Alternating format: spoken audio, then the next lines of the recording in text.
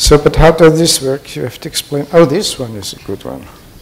Okay, I will speak about uh, uh, collision parameters governing water delivery and water loss in early planetary systems.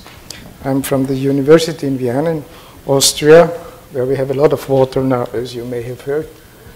There are some inundations. Okay, how does this? How can I go ahead with this?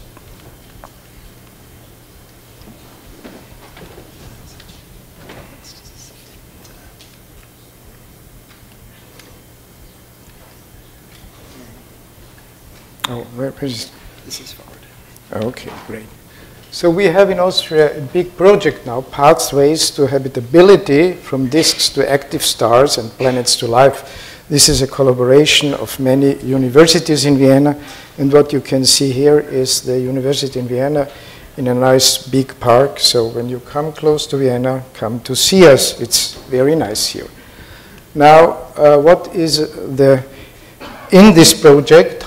I'm dealing with my colleagues of the transport of water and organic material in the early planetary systems. Well, it's a very difficult subject. It's not easy to do, but this is the goal. The main goal is to understand how water and organic material were delivered during the early stages, not only of our planetary system, but also of extrasolar planetary systems. Now, there was a, a dry planet is here, but there are water planets, and when do we have this water? Is this water coming because we have this kind of formation during collisions? Do we have we have this formation of the moon? Whether with a big collision, did we lose all the water? There was this late heavy bombardment. So the question is, how do we really? How does it work that we have a lot of water here on our Earth? Yeah, not only we need water, also everybody needs water, as you can see, okay? Now, uh, there are two points. One is the collision statistics, and we found these collision statistics by numerical integrations just in the Newtonian framework for many bodies in, uh, in distance to the sun between 0.9 and 1.1 astronomical units and we took the bodies as mass points. We integrated with Lie series with ad adaptive step size to be able to deal with close encounters, uh, precisely treat these close encounters. And whenever two bodies came together as close as 0.0001 astronomical unit, the orbit is checked in detail. Now, there's a very important point. The point is what is the meteorite impact velocity on the Earth, the average velocity of meteorites entering the atmosphere is very high. It's between 10 and 70 kilometers per second. So please keep this in mind. Now I will show you three different examples of flybys. One possible collision of, of two bodies, then a flyby by almost touching each other, and a far away flyby. Okay. Now, uh, in our model, we treated seven different uh, masses. Uh, we have the mass, very small ones, from asteroids to a body of 10 times the moon for the determination of these collision statistics. So we have here one tenth, approximately one tenth of Ceres, Ceres, one tenth of the moon, one third of the moon, the moon, three times the moon, and 10 times the moon. So these are the masses here, and this is approximately this kind of bodies what we have. And we uh, treat these bodies so that everybody has this kind of mass, and when there is a collision, so it's a collision between two bodies of this size. So we cover most of the interesting uh, mass range of planetesimals. Now here you have such uh, an event when two bodies come very close, it's, you can here see uh, this 0.001 astronomical unit.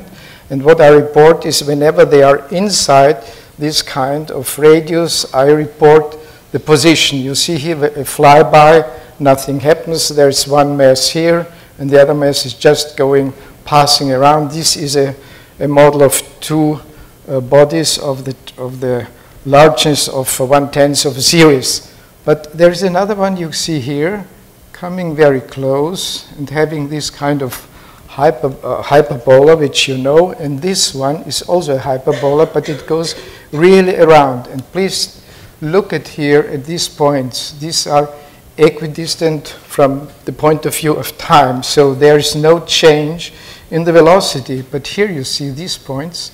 They are coming closer and closer, and when you are very close, you have a very high velocity. So when you have a small body, the collision velocity is very high. But when have, this is for instance a moon-sized body, and when it touches here, when the, we have the collision, it's not so high the collision velocity than we would be here.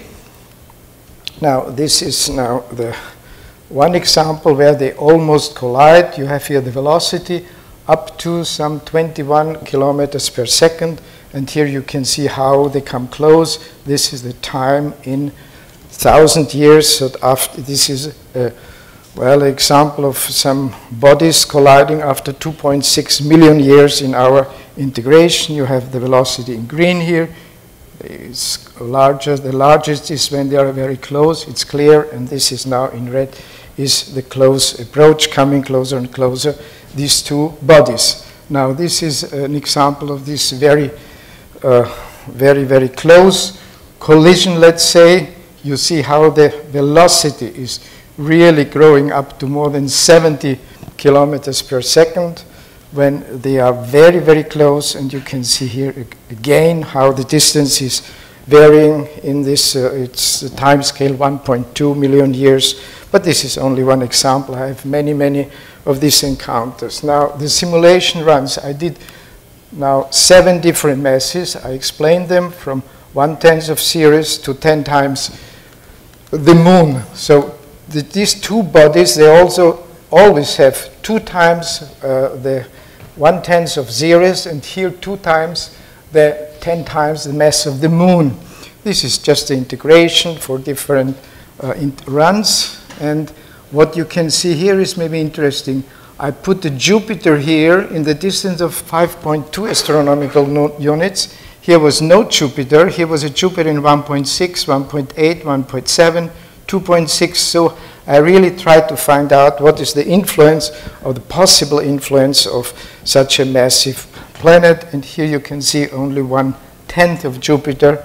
And these are some preliminary results. It's not really uh, the whole story. We have to put them into order, but at least you can see that when you have larger bodies, this is the velocity. You may wonder about this, uh, uh, this, this velocity. It's in astronomical units per day. But when you have larger bodies, see it's 2.3, 10 to the minus 2, up to 0.4. So when you have larger masses, it's clear you have uh, larger velocities of encounters. Now I divide it here into 0 to 30 degrees, 30 to 60, and 60 to 90 degrees. This is how it works. So this is how it really hits, how the collision is coming. This is a frontal collision, but you have also collisions which pass by. Oh, this is just to tell you a schematic view. This is the surface of one of the bodies, and all these straight lines are how they collide, and they come primarily in this equatorial plane, which is in the plane of the orbits of all these uh, planetesimals, and very few are coming from above, and the length is just giving the velocity why, how they fit, how they collide. And the example of a run with a perturbing Jupiter here you can see I have here velocities from very small velocities to very, very high velocities. And I divide again into three different domains in, uh, of, of 30 degrees. And uh, the mean velocity of all these encounters is very high. It's 63 kilometers per second for this example of a run of 400 bodies of one tenth of zeros, Sirius uh, Sirius, not Sirius, okay, three billions of years integration. This was the initial distribution, and it's here without the Jupiter. And there is a difference when there is a Jupiter, but this also has to be worked out. Now, this was the first part.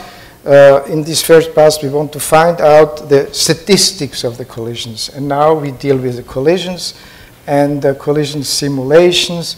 The objectives are elastoplastic solid state mechanics with brittle uh, failure, fragmentation, and we have self-gravity in it. And track, we track different material, and what we are interested in is primarily water. So we have water uh, in form of ice, and we have basalt, and will, you, you will see one example of such a collision.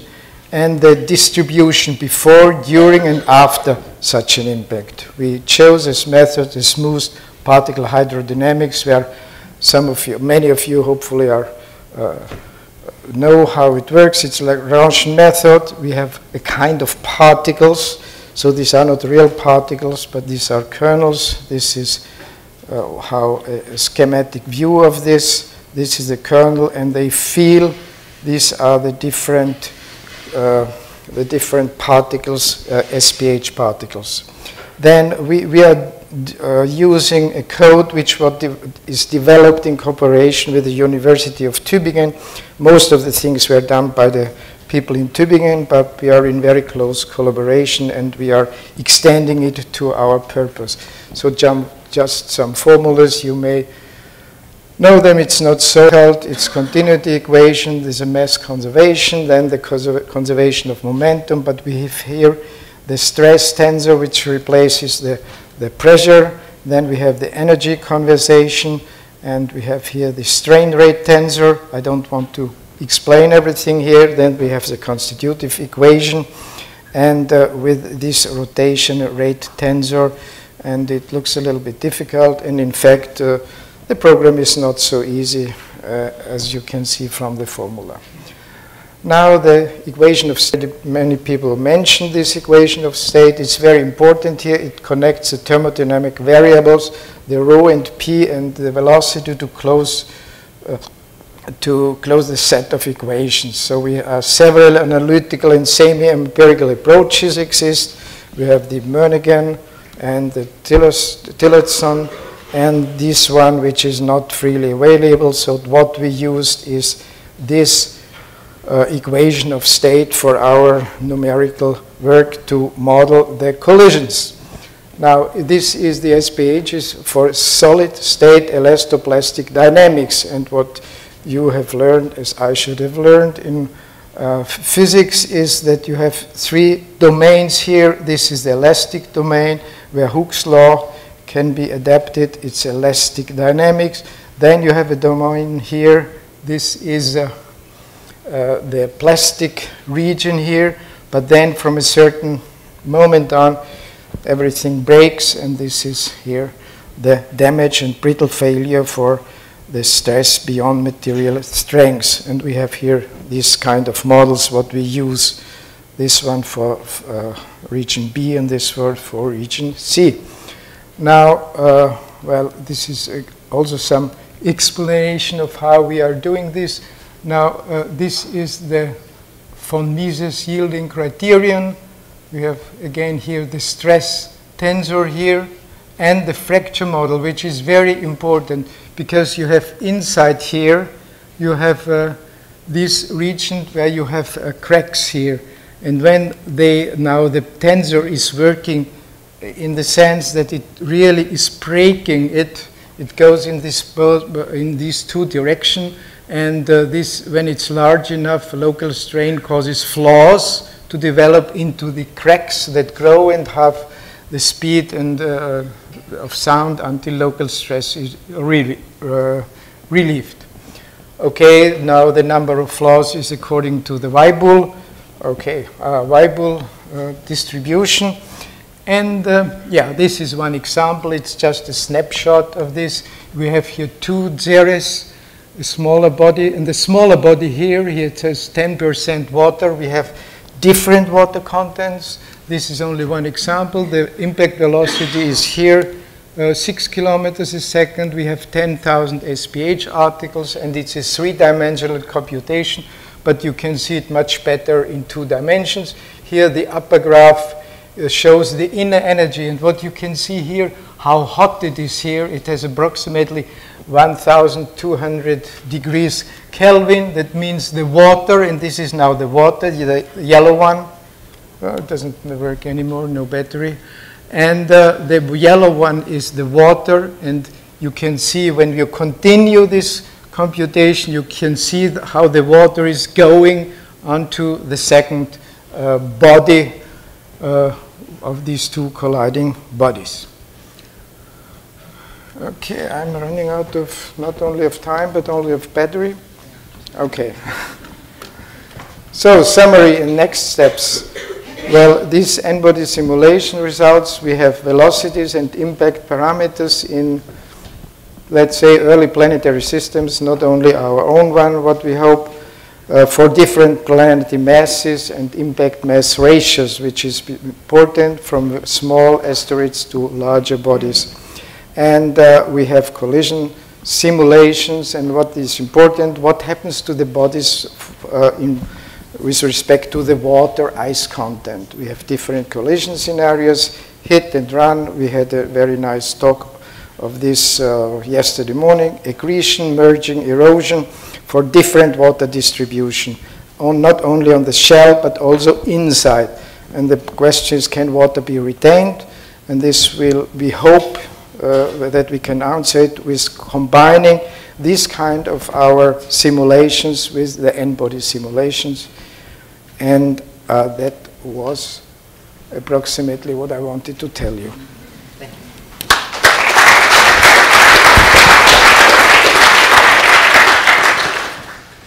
So the, it's a good thing it's the last speaker of the session. The batteries are run out. We do have time for one question, perhaps. If it's, it's really so clear. Well, they are hungry. All the people are hungry, I think. Okay, great. Okay. Uh, so if there are no questions, um, uh, thank you very much. Okay. And thank you to all the speakers for today's session.